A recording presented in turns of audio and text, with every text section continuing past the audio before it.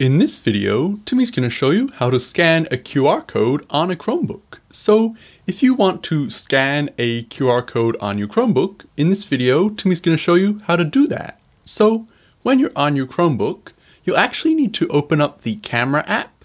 So if you don't already have the camera app open, you'll just need to click on this circle down here and click on this up arrow here and you'll need to find the camera app somewhere here. You might have to scroll down or up or something to find the camera app.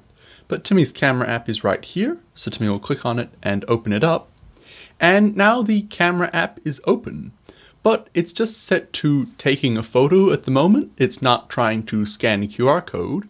But if you look down here, there's video, photo, square, and scan. So to scan a QR code, you'll just need to click on scan and now it's on scan, but it's still set to document. So this would actually be really cool if you wanted to scan a document and you don't have a scanner, but we're not scanning a document today.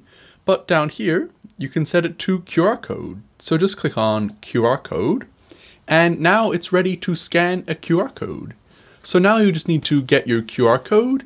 Timmy's using this flap from an Amazon box that happens to have a QR code on it but you can use whatever QR code you have.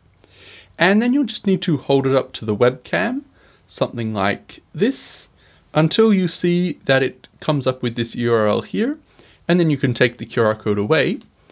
And now you just need to click on the URL and we'll open it up in Chrome. And that's all there is to it. Now you've scanned your QR code. So this might be a form or something that it's brought up in Chrome, but in this case it's a website about Amazon sustainability, but whatever the QR code was to, it'll open up in Chrome. So that's really cool, and that's all there is to scanning a QR code on your Chromebook. So hopefully you found this video helpful, and if you did, please click on the thumbs up button down below, and will see you in the next video.